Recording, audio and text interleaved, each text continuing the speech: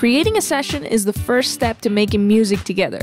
To start a brand new session, simply tap the plus button at the bottom of the home screen. This will take you to the new session screen, where you can give your session a title. We'll always suggest sessions that already exist with a similar name. You can either tap on an existing session to create a version of it, or you can tap Start from Scratch to create a completely new session. Another way to create music on Indaband is by creating a version of an existing session. If you come across a song that inspires you, you can create a new version of it by tapping the plus button when the session is in play mode.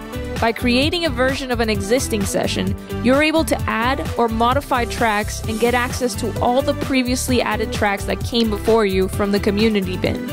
You can play along with, rearrange, manage, or remix to your heart's content.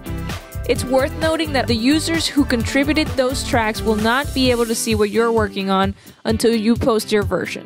We hope this tutorial was helpful. You can learn more about Indaband's studio and recording features by watching our other videos in the tutorial playlist.